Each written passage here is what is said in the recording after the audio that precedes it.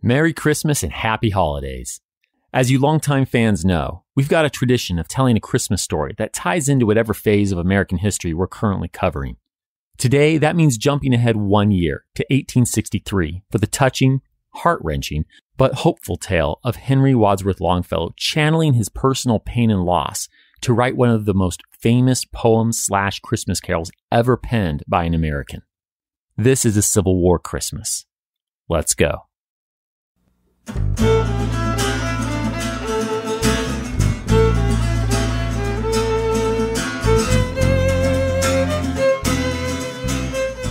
Welcome to History That Doesn't Suck. I'm your professor, Greg Jackson, and I'd like to tell you a story. It's November 27, 1863. The Union Army of the Potomac slowly marches across the muddy terrain on the southern banks of the Rapidan River in Virginia. In this part of the country, winter has come early. Yesterday, dense fog made army movements, and more importantly, recon missions, nearly impossible. This morning, the fog has been replaced by biting cold. But unfortunately for Union General George Meade's Boys in Blue, it's not quite cold enough to freeze the muddy roads. Men, wagons, and animals slip and slide in the oozing, mucky pathways they are trying to traverse. These men are supposed to be marching double time to attack the nearby Confederate army, but bad roads and inaccurate maps cause one delay after another. Federal soldier Charles Wainwright puts it bluntly, quote, We plunged blindly into an unknown, densely wooded country with no guides except perhaps an old country map. Close quote. The maps are so useless that an entire division of Yankees gets lost in the woods and the narrow roads are barely wide enough for a single wagon, let alone an army trying to move quickly. Federal Lieutenant Theodore Lyman recounts that his division can only march in a column up to four men wide. Another soldier, Sam Fiske, grumbles that, quote, we would march about a rod, then wait five minutes, when we could march a rod more, and then wait another five minutes. Close quote. This march through the woods sounds almost as bad as standing in line to buy a last minute present on Christmas Eve. But these Union soldiers can't look forward to a calm ride home in a heated car with a cup of fresh coffee. No, they're marching right into an enemy force. One Yankee reports that he is, quote, marching quietly along, not expecting any trouble just then, when suddenly, like a clap of thunder out of a clear sky, our ambulance train was fired into, and for a little while all was confusion. Close quote. In fact, Confederate General Edward Johnson is just as surprised to find a Yankee army in these woods as the Yankees are to be found. In his later report of this battle, Confederate Commander Robert E. Lee explains that, quote, owing to the character of the country, the presence of the enemy was not discovered. Close quote. That's his professional way of saying that the close growing trees, narrow roads, and dense underbrush completely hid the two forces from one another, even though they are probably close enough to smell each other. But now that rebel and Yankee soldiers have literally stumbled into a battle, they quickly form lines and open fire with reckless abandon. Soon, the boys in gray are pushing the Federal lines back. In the confusion of battle, one Union soldier, Charlie Longfellow, tries to get a safer position. He mounts his horse and rides out of a thicket. But the dark haired soldier's nearly new blue cavalry jacket with its gold braiding on the shoulders and distinctive buttons identify him as a lieutenant to enemy sharpshooters. Before Charlie gets very far, a shot tears through him. The injured cavalryman bleeds profusely from both shoulders as medics evacuate him to their battlefield hospital at nearby New Hope Church. A doctor quickly examines Charlie and determines that the bullet passed under both shoulder blades, nicking the spine but missing Charlie's lungs and heart.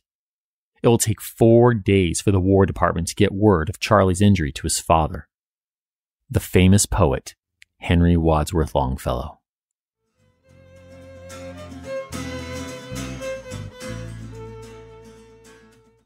You know what's a sneaky good holiday gift? Super comfortable Bombas socks. Most people don't ask for socks, but that's just because they haven't worn Bombas. They're built with extra cushioning, so whether you're walking the dog, chilling at home, or fighting alongside Charlie Longfellow in the Battle of Mine Run, you'll be comfortable. I love my Bombas socks. My favorites are their merino wool socks designed to be breathable, dry, and never itchy, with just the right amount of thickness and cushion. I'm also enjoying their no show socks. They really live up to their name. They don't show and they don't slide off my feet. These socks also make the perfect holiday gift because for every pair you buy, Bombas donates another pair to someone in need. And isn't that what the season's all about?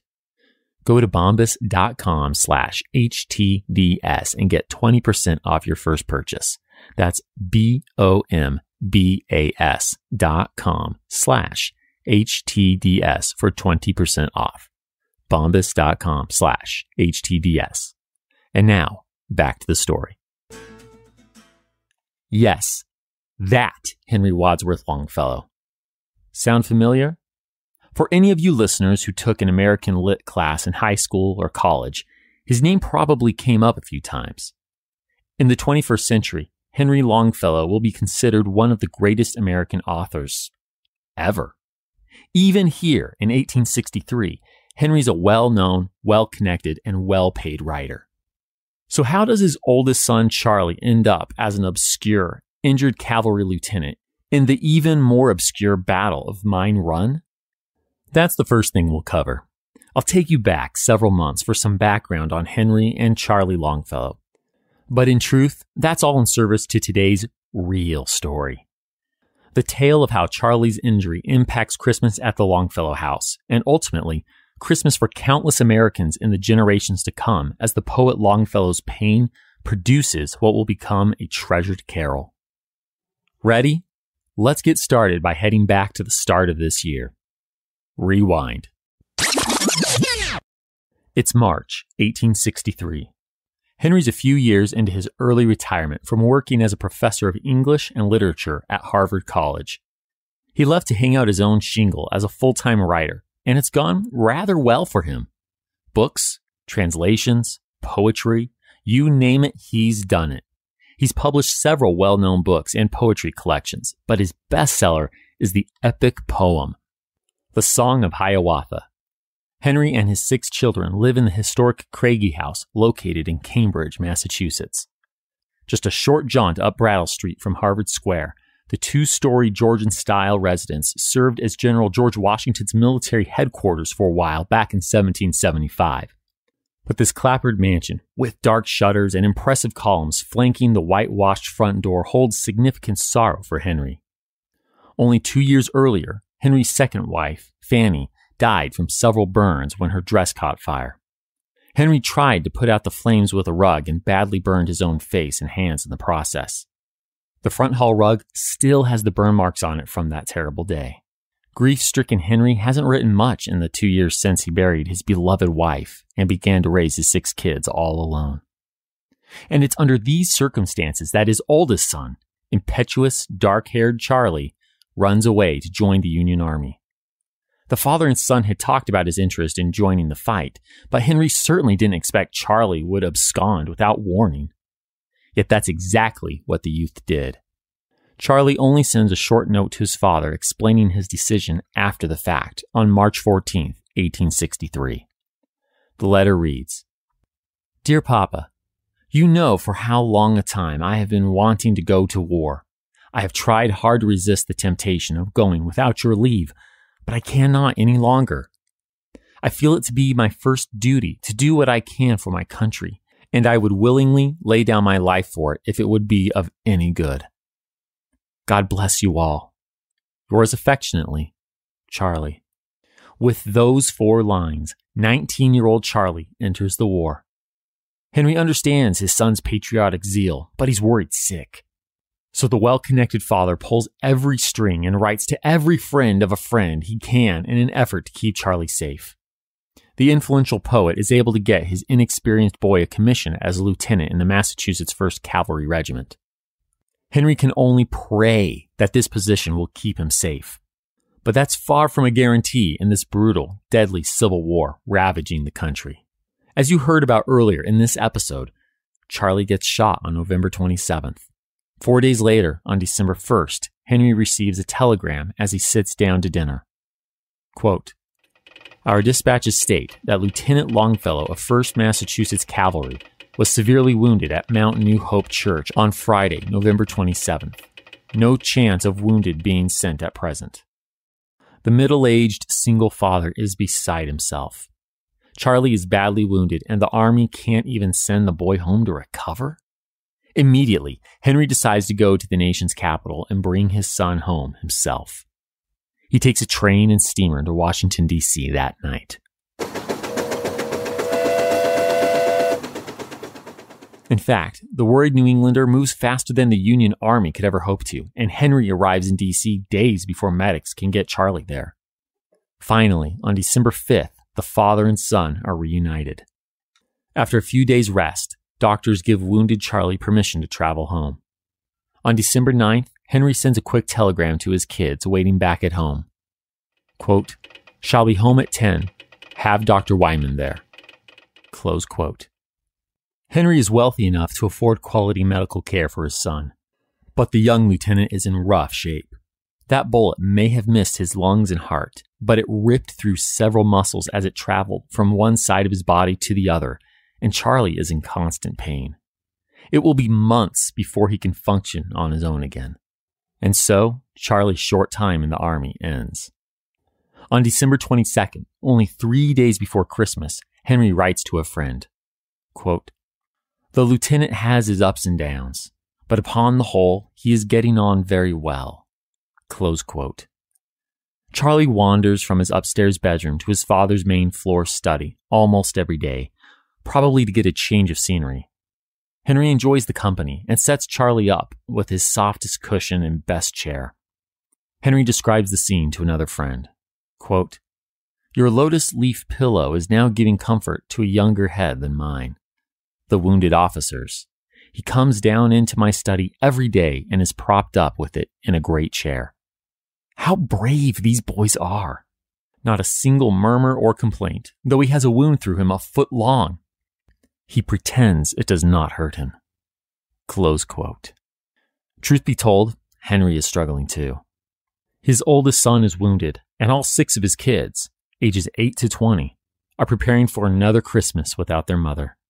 Understandably, Henry hasn't been able to write much of anything in his still raw grief. Damn.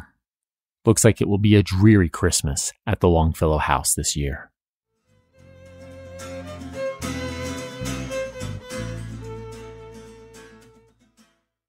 It's about time for Henry to write his poem, but first, I want to remind you about the continuing education program at University of California, Irvine, or UCI. Since 1962, this top 50 school has been providing learning pathways for those looking to step up their career or just learn more. You can take advantage of UCI's division of continuing education programs from anywhere, like the over 30,000 students across the world enrolled right now. You too can pursue courses, certificates, and specialized studies programs, be that for self betterment or to further your career. In fact, they have over 60 convenient certificates and specialized programs specifically designed for working professionals. Also, a number of these courses are 100% online, meaning you can enjoy the convenience and flexibility of real immersive online classrooms that'll offer you a collaborative learning experience with your fellow students. Set a New Year's resolution now to invest in yourself and your education. Winter 2020 registration is open. Visit ce.uci.edu slash history doesn't suck and enter HTDS for 15% off one course. That's ce.uci.edu slash history doesn't suck and enter HTDS to get 15% off one course. This offer is only valid until December 31st, 2019 at 11:59 p.m. And now, back to the story. On Friday, December 25th, 1863, Henry slips into his office. Charlie's upstairs, so the study is quiet except for the distant sound of church bells playing a Christmas hymn. Henry sighs and begins to write. I heard the bells on Christmas Day. Their old, familiar carols play, and wild and sweet the words repeat of peace on earth goodwill to men, and thought how, as the day had come, the belfries of all Christendom had rolled along the unbroken song of peace on earth, goodwill to men. Till ringing, singing, on its way, the world revolved from night to day. A voice, a chime, a chant sublime of peace on earth, goodwill to men. Henry looks at the stanzas on the page. It feels good to write something original, not just the translations of Dante he's been working on lately. Nevertheless, these words don't express any of the anguish that has colored his life for the last two and a half years. His wife's death, his own painful injuries, the Civil War, and his son's terrifying part, however small, in that deadly fight. Henry keeps writing. He paints a verbal picture of deadly balls flying from the mouths of cannons on the battlefield. Then from each black, accursed mouth, the cannon thundered in the south. And with the sound, the carols drowned of peace on earth, goodwill to men. It was as if an earthquake rent the hearthstones of a continent and made forlorn the households born of peace on earth, goodwill to men. Could Henry be recalling President Lincoln's 1861 inaugural address as he writes these words? Lincoln said, The mystic cords of memory, stretching from every battlefield and patriot grave to every living heart and hearthstone, all over this broad land will yet swell the chords of the Union. In his hopeless melancholy, Henry seems to be implying that Lincoln's cords of memory that bind American hearthstones are broken beyond repair. The poet keeps writing. And in despair, I bowed my head. There is no peace on earth, I said, for hate is strong and mocks the song of peace on earth goodwill to men. The distant church bells are still ringing. Henry scans through his words again as he listens to their sound.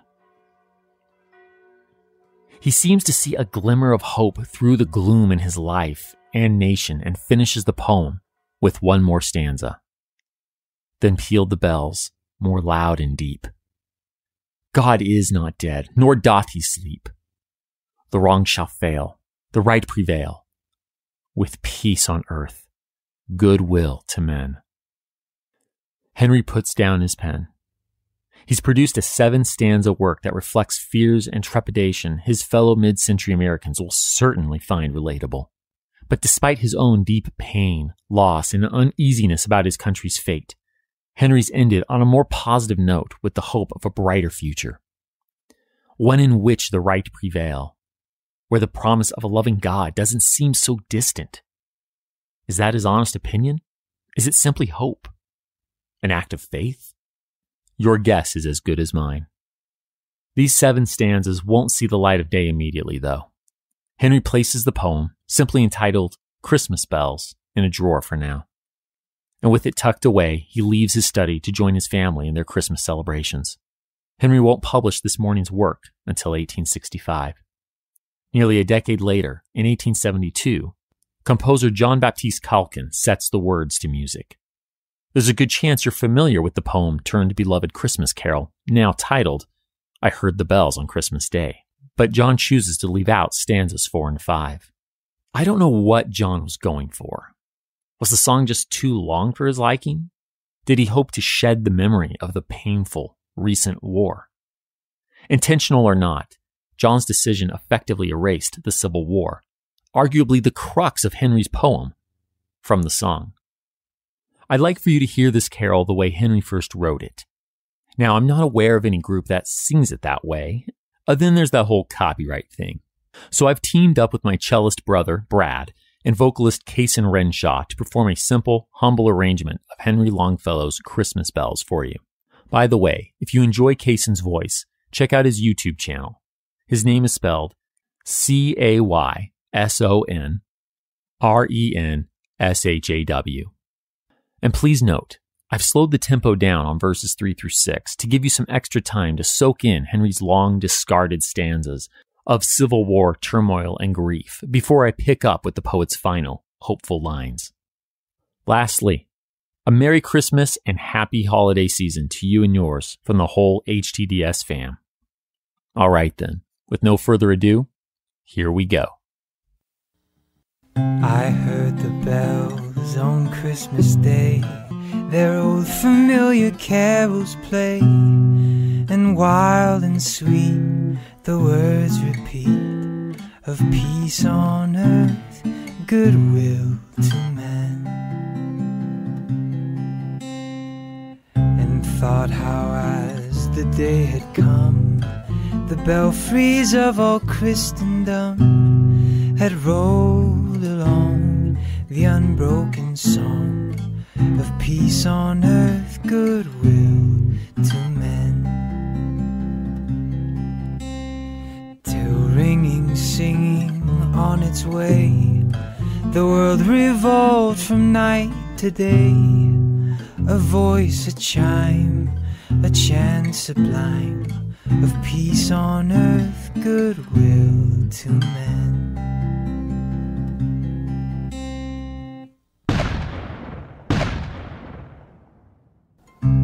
From each black, accursed mouth, the cannon thundered in the south, and with the sound, the carols drowned of peace on earth, goodwill to man. It was as if an earthquake rent the hearthstones of a continent and made forlorn the households born of peace on earth, goodwill to men. And in despair, I bowed my head. There is no peace on earth, I said, for hate is strong and marks the song of peace on earth, goodwill to men.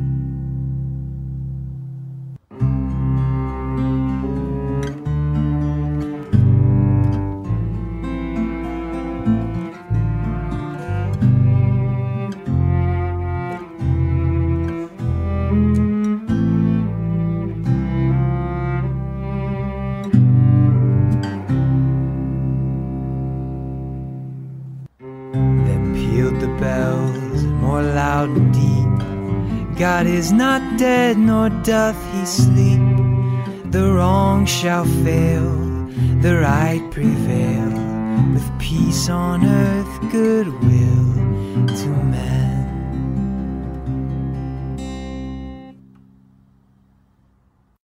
I Heard the Bells on Christmas Day. Lyrics by Henry Wadsworth Longfellow. Music composed by John Baptiste Calkin. Arranged by Greg Jackson and Susan Jackson. Performance by Greg Jackson, Bradford Jackson, and Cayson Renshaw.